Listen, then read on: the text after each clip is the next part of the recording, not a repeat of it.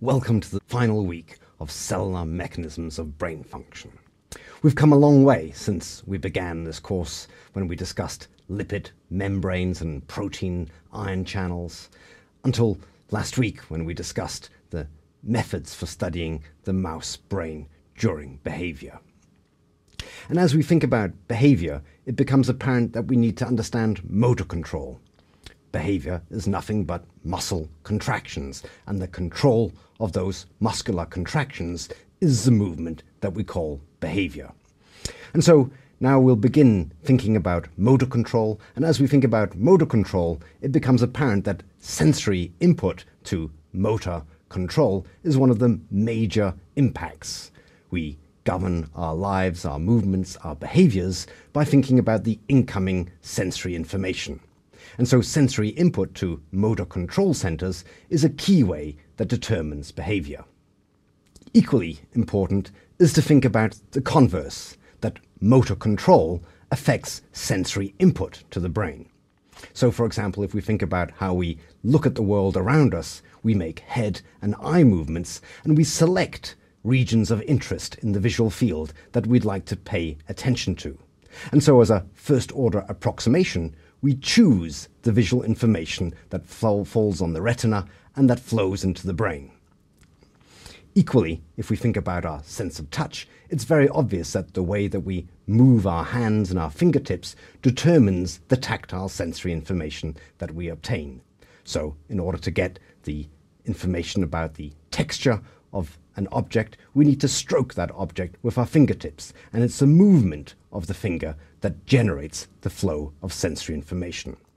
So, the sense of touch and vision are dominated to a large extent by self generated movements that form the so called basis of active sensing, where we select the type of sensory information we want to obtain by making specific goal directed movements.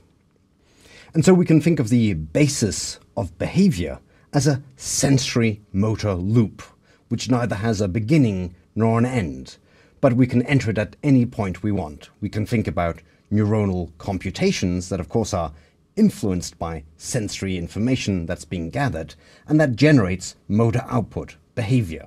And that motor output, of course, interacts with the real world. We might move our hands against an object or move our eyes, and then the visual field will change and give rise to different sensory input that then in turn influences the neuronal computation. And in that way, we have sensory motor loops that are the most important determinants of behavior. In this video, we'll consider the mouse whisker system, which is one of the key systems being analyzed at the moment for active sensing. Mice are nocturnal animals, they live in tunnels, and one way in which they can obtain spatial information about their immediate surroundings is by using their whiskers, which they actively move around to explore their environment. And the first thing I'd like to show you is a behavioral paradigm where we can see just how they use their whiskers to get spatial information. In the so called gap crossing task that was developed by Hutson and Masterton, a mouse is placed on an elevated platform. It's in the dark under infrared illumination. And what the mouse needs to do is to identify the location of a target platform where it needs to jump over. And then, when it does so, it receives a reward. The gap between these two platforms is so large that the only way that the mouse can identify the location of this target platform is by using its whiskers to reach across this gap we're going to look at a movie where we film from above and we'll see the silhouette of the mouse with its whiskers. It stands on one platform and reaches across space to touch a target platform where it needs to jump to to obtain its reward. And so here you see the mouse touching the target platform, and when it's built up sufficient confidence, it jumps, and now it's enjoying its snack. Now, that all happened rather quickly. So let's look at that slowed down 20 times and zoomed in on this area where the animal's whiskers are contacting the target platform. Now the individual movements of the whiskers become obvious, and you'll see that most of the time the whiskers move at the same time, both left and right, and they move in concert with each other. But sometimes they become out of phase and they move individually. And if one begins to quantify the movements of individual whiskers, you can actually see that each whisker is individually under its own motor control. So clearly, if we're going to understand how the animal perceives its environment here and gets sensory information under these conditions, it becomes important to look at the mechanisms driving motor control. So how does the mouse control its whisker movements? There are two important sets of muscles that are involved in generating whisker movements. There are so-called intrinsic muscles, shown here in green, that are located entirely within the whisker pad. And attached to each whisker is its own individual intrinsic muscle.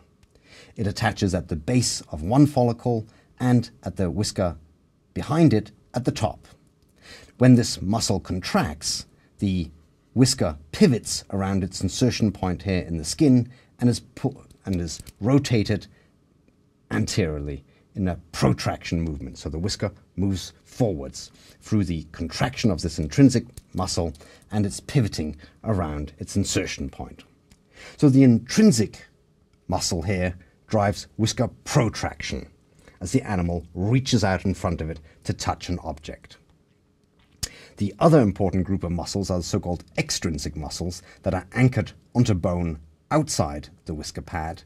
And when they contract, they pull the whiskers backwards. So these extrinsic muscles here are relatively superficial in the whisker pad. When they contract, they pull the whiskers backwards, causing whisker retraction. So we have intrinsic muscle that generates protraction, and we have extrinsic muscle that generates retraction of the whisker. These muscles are under neuronal control. So each muscle is innervated by an axon from a so-called motor neuron, and these motor neurons release neurotransmitter onto the muscle. And so the junction between neurons and muscle is a synapse, a chemical synapse, very similar to the synapses we've been thinking about within the central nervous system. At the neuromuscular junction, the neurotransmitter that's being released is called acetylcholine and the acetylcholine is released from synaptic vesicles, just like in the nervous system, and it acts upon postsynaptic ligand-gated ion channels, so-called nicotinic acetylcholine receptors. So the acetylcholine is released from the motor neuron axon. It activates the ligand-gated ion channel, the nicotinic acetylcholine receptor, that causes an influx of cations, sodium, importantly, causes a postsynaptic depolarization, and muscle is also excitable. And so, in fact, the muscle gets depolarized and fires an action potential, just like a neuron would. That action potential in the muscle causes a rise in cytosolic calcium concentration, and that rise in calcium is what then drives the biochemical reactions that cause muscular contraction. So, action potentials here in the motor neurons drive muscle contraction and can then move the whiskers forwards or backwards. And of course, the same is true across all the muscles in our body. Acetylcholine is the neurotransmitter at the neuromuscular junction. So now, in order to understand how these whiskers are moved, we then clearly need to know where the neurons are that innervate these muscles.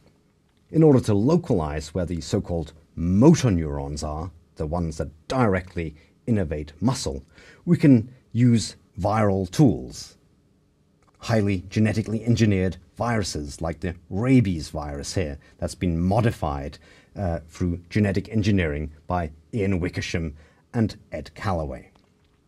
If we inject a red variant of rabies virus, so expressing the so-called mCherry fluorescent protein into the extrinsic muscle, that then gets taken up by the axonal junctions retrogradely transported along the axon, and then it labels the locations of the neurons that project here, where the motor neurons are. We can also inject rabies virus into the intrinsic muscle and label then the motor neurons that innervate the intrinsic muscle. And we can have two different variants. We can have a red one for the extrinsic, a green one, green fluorescent protein injected into the intrinsic muscle. And so these are the pictures here of the whisker pad, the injection of the virus here into the whisker pad, labeling the axons here of the motor neurons, and here into the extrinsic muscle, labeling again the motor neurons. If we now cut sections here of the brainstem, we can then see the location of where the motor neurons are. And so here's one of these coronal sections here, taken through the brain stem, and here, ipsilateral to the same side where the muscles are, we see the locations of the cell bodies of the motor neurons. So these are now cholinergic neurons, so they release acetylcholine here onto the muscle, and this is the cell body, and also, of course, they have dendrites all around here that are more difficult to see. You can also see that the location of the motor neurons for the extrinsic muscle are in a slightly different location to the motor neurons for the intrinsic muscle. And this is an individual example, and this is a group representation of where, in general, we find the extrinsic and the intrinsic groups of motor neurons. And so here you can see one of the general principles of organization of motor neurons, and that is that the motor neurons that innervate a given muscle type are located close to each other in a cluster. And so these motor neuron pools then innervate different muscles, and that's typical throughout the spinal cord and brainstem that the cholinergic motor neurons that innervate a given muscle are located close to each other in a tightly segregated region. And here the two different muscles that cause retraction or protraction of the whisker are located in different areas of the brainstem, in the facial nucleus, where all the motor neurons are that govern facial movements. Now, in order to understand what controls action potential firing in these motor neurons, we then need to look and see where do they receive their synaptic inputs. So, like all other neurons, they have dendrites and they receive glutamatergic and GABAergic and glycinergic input distributed across their somatodendritic arborization. And the reason that these guys fire action potentials is because of the synaptic input that they receive. And so we need to know what are the presynaptic neurons to these motor neurons. And the presynaptic neurons to motor neurons are called premotor neurons. These are the ones that give synaptic input onto motor neurons.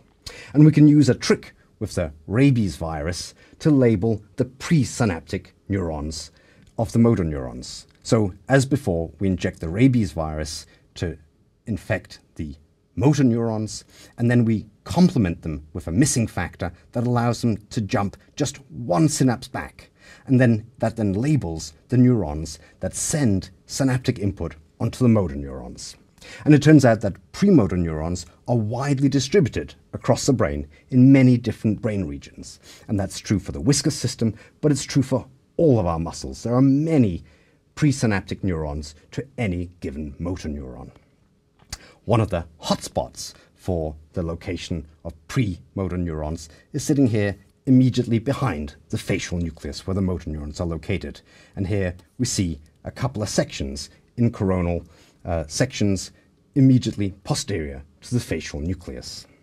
And you'll see that the red dots here correspond to the locations of cell bodies of premotor neurons that innervate the extrinsic muscle, so these generate retraction movements. And here we've injected the rabies virus into the intrinsic muscle, and these are then the premotor neurons that drive protraction, contraction of the intrinsic muscles, and forward movement of the whiskers. And you'll see that there's an obvious difference in the layout of the neurons innervating the retraction and the protraction whisker muscles. The retraction premotor neurons are located here in the spinal trigeminal nucleus, whereas the neurons that innervate the motor neurons that give rise to protraction movements are sitting here in the reticular formation of the brainstem. And so there are two separate locations for where premotor neurons are located. So one would expect then that if we stimulated these neurons, that would drive action potential firing in the facial nucleus motor neurons that innervate the extrinsic muscle and cause retraction of the whisker. And so if we now put a stimulation electrode here into the spinal trigeminal nucleus and we drive current through that, it turns out indeed it does cause a retraction of the whisker. This is now a horizontal section through the brain somewhere around here, where we see the horizontal section through the reticular formation and spinal trigeminal here more laterally. We would expect that stimulating this area here might cause whisker protraction. There are many cells here, premotor neurons, that innervate the intrinsic motor neurons that drive protraction of the whisker. And indeed, if we put a stimulation electrode here in the reticular formation and stimulate it electrically, we see that the whisker indeed moves forwards, compatible with our premotor mapping. Now, there are many sensory motor loops at the level of the brainstem, and so sensory information, and both from the whisker system and from many other types of sensory inputs impinge upon these premotor neurons. And in general, there's a great deal of local circuitry in the brainstem and the spinal cord that gives rise to reflex movements and even more complex sensory motor interactions. However, if we're interested in volitional movement, then typically this is something that results from cortical activity. And so, if we're thinking about volitional control of whisker movements, we might be interested in the cortical inputs to these premotor neurons. In general, cortical neurons don't connect strongly to motor neurons, and most of the impact of the neocortex upon movement is indirectly through complex brainstem and spinal cord circuits through interacting with the premotor neurons. And so here we then introduce a anterograde label for the axons into the whisker sensory cortex and into the whisker motor cortex, two areas that we think are intimately involved in processing and generating whisker movements. If we inject this virus into the sensory cortex, we can see the axons down here in the brainstem. If we cut a coronal section, then we can look and see that the axons are coming in here from sensory cortex and largely innervating this spinal trigeminal interpolaris region, exactly where the extrinsic premotor neurons are located. So you might imagine then that if we stimulate sensory cortex, that would release glutamate in this area, stimulate these neurons here, and that should then cause a retraction of the whiskers. If we now put the virus to label the axons into the motor cortex, and we then cut sections here in the brainstem, and we look and see in these sections where the axon's terminating, we see that there's a great deal of axon that's terminating here in the reticular formation. And that's where there's a high density of neurons that are involved in protracting whiskers. And so you might imagine that stimulating this area of motor cortex might then cause the whisker to move forwards. So we can test this hypothesis by putting channel rhodopsin in these two different brain areas. Here we've injected a virus to express channel rhodopsin in the sensory cortex. Here we've injected channel rhodopsin into the motor cortex. And this is now the fixed brains that have been removed from the animal after perfusion. While the animal was alive, we put blue light onto this part of the cortex and saw that that indeed generated a whisker retraction. So stimulation of sensory cortex causes the whisker to move backwards, where stimulation of motor cortex causes the whisker to move forwards, but it does so in a more complex way. It's a rhythmic forwards and backwards movement, very much like what we saw during the movie when the animal was performing the gap crossing task. It's this exploratory, rhythmic palpation of its surroundings. And so, as a summary, when we think about whisker motor control by the cortex, we can see that the sensory cortex sends axons down to the brainstem, innervates spinal trigeminal interpolaris nucleus that has premotor neurons that innervate facial nucleus motor neurons, and those facial nucleus motor neurons are the ones that are involved in retracting the whisker. And so activity in the sensory cortex causes the whisker to move backwards, and that could be viewed as a negative feedback signal. And perhaps that's useful if we think about, say, our cells that are exploring a dark room, we're moving our arms around, and when we contact a wall, the first thing we might want to do is to stop moving our hand forwards. We can't bring that hand through the wall, and so we need a negative feedback signal that prevents or stops that movement. And so that might be one of the purposes of the sensory signals and sensory cortex is to cause a feedback signal driving whisker retraction.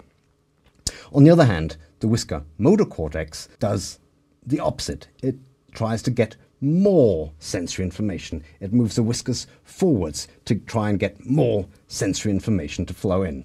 And the way it does that is by its axons that project down to the reticular formation. Here, there are complex neuronal circuits that probably act as central pattern generators that then innervate the rhythmic whisker protraction neurons that uh, uh, are the motor neurons for the intrinsic muscle that then drive the whisker to move forwards and backwards. So frontal cortex is involved in trying to get more sensory information, and the sensory cortex seems to be involved in a negative feedback signal. And so there are two distinct types of cortical control signals for whisker movements. So, having seen what the cortex can do when we artificially stimulate it, it's also interesting to see what types of signals occur from the periphery and whether we can follow through sensory motor loops. And in particular, here, what we do is we deliver a stimulus onto one particular whisker, the C2 whisker. We have a piece of metal attached to this, and there's a magnetic coil underneath. We can generate a brief one millisecond pulse onto this whisker that then activates the signaling pathway. First glutamatergic synapse in the brainstem, second glutamatergic synapse in the thalamus, and then the information is processed here in the primary somatosensory cortex. And after we deliver a whisker stimulation, some tens of milliseconds later, we can see the activity here in S1. It spreads within S1, and it also sends a signal here to the motor cortex. And we believe that there's a direct monosynaptic projection from somatosensory cortex to motor cortex. What you see here is that we are also filming the behavior of the animal while we measure the activity in the brain here with the voltage sensor dye imaging technique that we've described before the animal sitting still at the beginning of the trial when we deliver the stimulus, but by the time we've seen this activity in sensory and motor cortex, afterwards the animal in this trial is moving its whisker.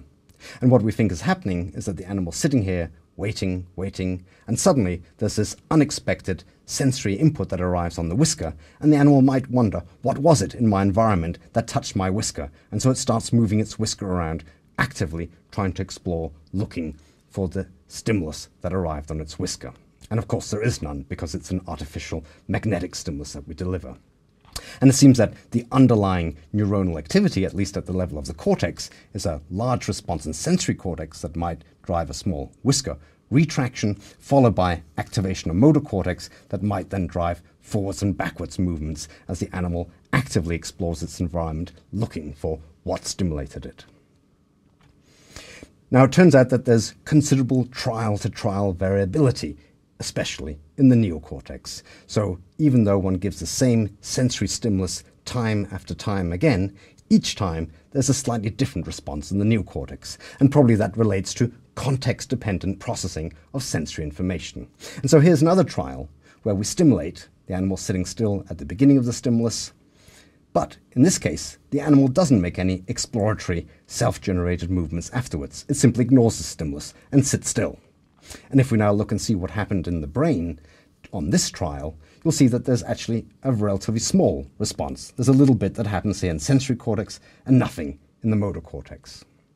These are just two individual trials, but we can select for all trials where the animal makes a sensory evoked whisker movement, and we can select for all trials where the animal makes no movement, and we can see in general how the pattern of neuronal activity occurs. And you'll see that on the trials where the animal begins to move its whiskers and explore its environment, that's accompanied by large activation in sensory cortex and also substantial activation here in the motor cortex. Whereas on trials where the animal doesn't make any movements, it just simply ignores the stimulus, you'll see that there's a sensory response in primary somatosensory cortex, it's smaller in amplitude, and there's nothing activating the motor cortex. And so, at least at the level of correlations, we can see that there's sensory motor activity when the animal begins to actively explore its environment, driven by a sensory stimulus, and there's other trials where the animal ignores that stimulus, and that's accompanied by very little activity in the neocortex. We can also go and see what happens from the other perspective, see what happens as the animal moves its whisker and contacts an object. And so here we're tracking whisker position and looking at membrane potential below in black. And at some stage, there's going to be a drop of this pole, it drops down, and then the animal's whisker is now contacting that object. And as it contacts the object, there are obvious membrane potential fluctuations that correlate with sensory responses as the animal touches repeatedly this pole that's been put in its way. And if the animal needs to localize where this pole is, clearly it needs to take into account the motor position of where the whisker is, as well as the timing of that contact in order to extract the position of where that pole is. Here's another example of a different cell recorded where each time the whisker is touching an object, it's shaded in grey, and you'll see every grey shaded area here correlates with a membrane potential depolarization in the cell that's being recorded. And here, there's some action potentials that are being fired in response to this particular contact here. And so we can see that there's active encoding of each individual touch response in the primary somatosensory cortex of the mouse. And so there's a clear signal in the brain that corresponds to each active touch as the animal contacts its environment. Now we need to be able to put those sensory and motor signals together in order, for example, to extract the position of the object. And so it's interesting to note that there's a substantial motor input to sensory cortex, as well as, of course, sensory cortex that sends input to motor cortex, so they're bidirectionally coupled. Here we just look at one aspect that the motor control signals arrive in sensory cortex. This is the axonal innervation of primary somatosensory cortex, and it seems to come in two layers. There's an upper layer of innervation here that arrives at the surface of the brain in layer one, and there's also deeper innervation.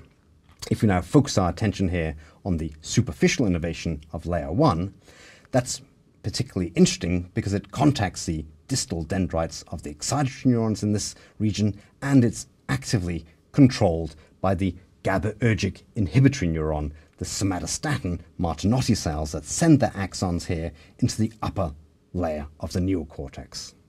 And so the input from motor cortex, in terms of its impact upon the dendritic integration here on the excitatory neurons is regulated by how much GABA is being released by the somatostatin cells. And when the animal's sitting still and not moving its whiskers, these somatostatin cells are firing quite actively. And so they're inhibiting these distal dendrites, and it may be that the motor input makes relatively little impact upon the excitatory cells. However, when the animal begins to move its whiskers, the somatostatin cells hyperpolarize, they stop firing action potentials, and now the GABAergic inhibition that was strong before is now taken out, and the motor input can now make a substantial input onto the excitatory cells. And so there's an interesting regulation of this distal dendritic input by the somatostatin cells, and that then might allow for motor interactions onto the excitatory neurons, and that then might help the animal interpret the sensory information coming in during active touch, for example, by combining motor signals with the upcoming sensory input that also arrives, of course, in sensory cortex. So in this video, we've seen that if we're interested in understanding behavior, we absolutely need to investigate motor control. Motor control and movements are at the very basis of any behavior, and so that's an important starting point. We've seen that sensory input to the motor control systems is extremely important and forms the first way in which our motor output is regulated. We have various sensory motor feedbacks that drive reflexes, for example, and at higher levels, we can imagine that sensory input often initiates our movements and certainly helps us guide us through any action that we wish to perform. From the other point of view, our movements and motor control make a big difference to the type of sensory information that we obtain. So we actively touch objects, we make eye movements to select things that we want to analyze in higher resolution. And so active processing of sensory information is extremely important, both in terms of the information that we obtain and also in terms of selecting for specific types of sensory information. So in this video, we've largely looked at what are probably hardwired, genetically programmed sensory motor loops and sensory interactions. In the next video, we're going to see how we can use reward-based learning to change sensory motor interactions and drive goal-directed behavior. And that is essential as a starting point for understanding sensory perception.